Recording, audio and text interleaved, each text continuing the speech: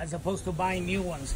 I'm using this fantastic product, Purple Blaster, and I'll show you how easy this is. They come out totally brand new. I just spray this, look, as you can see, just by spraying all the years of buildup come out.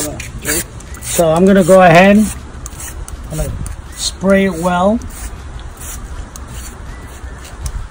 And or just spray it here. This is so easy as opposed to going to Home Depot and spending hundreds of dollars replacing all my AC grills. I'm just gonna go ahead, I'm gonna dip it here and leave it for a few minutes and you'll see how it comes out.